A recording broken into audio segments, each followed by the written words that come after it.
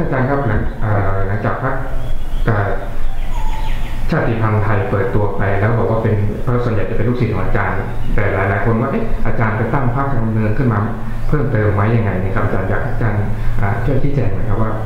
กรณีดังกล่าวนี้อาจารย์ได้ได้ได้ฝาไปร่วมหรือทำกิจกรรมกับพรรคนี้ไหมครับอาจารย์ก็ไม่ได้ไม่ได้ร่วมนะครับ เพราะว่าคณะสิทธิ์ทั้งหลายของหลวงปู่ก็มีอยู่หลายหลายท่านนะครับ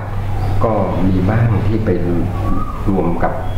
คือไปเป็นสมาชิกหรือพวกไอ้ลูกศิษย์นี้เขาก็จะสนใจในเรื่องของการบ้านการเมืองนะครับ ก็ไม่ใช่ว่าชาติพันธุ์ไทยพักเดียวก็ยังมีหลาย ๆพักนะครับ ที่เขาไปเป็นสมาชิกก็ไปรับความคิดเห็นต่างๆ เพราะว่ามันเป็นช่วงของการเลือกตั้งนะครับ สังเกตดูในทุกๆ ครั้งที่มีการเลือกตั้งคณะสิทธิ์ของหลวงปู่ก็พวกที่สนใจเกี่ยวกับเรื่องของการบ้านการเมืองนะครับ เขาก็จะไป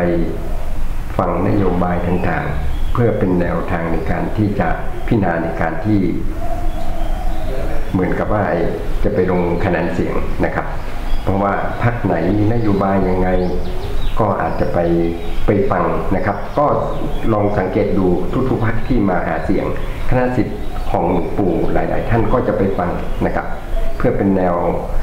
ศึกษาเรื่องของนโยบายต่างๆ ของพรรค พื่อที่จะพิจารณาในการลงคะแนนเสียงครับอืมก็คือว่าตอนนี้พรรคชาชาติพันธุ์ไทยอาจารย์ก็ไม่ได้มีส่วนที่ว่าไปร่วมก่อตั้งพรรคเพื่อเห็นหลายๆคนบอกเอ๊ะเพื่อไปหนุนท่านนายกประยุทธ์ให้ได้เป็นนายกหรือเปล่าเนี่ยครับท่านอ๋อเนี่ยแหละครับก็เป็นพักใหม่นะฮะที่เกิดขึ้นครั้งแรกในภาคเหนือเราก็ให้ความสนใจนะครับแล้วก็ต้องดูแนวทางการเปิดปฏิบัติตลอดถึงนโยบายของพรรคว่าเออเขามีแนวทางยังไงอะไรนะครับ เป็นพรรค อันแรกที่เกิดขึ้นในทางในทาง เปิดตัวทางภาคเหนือนะครับ เห็นว่าเปิด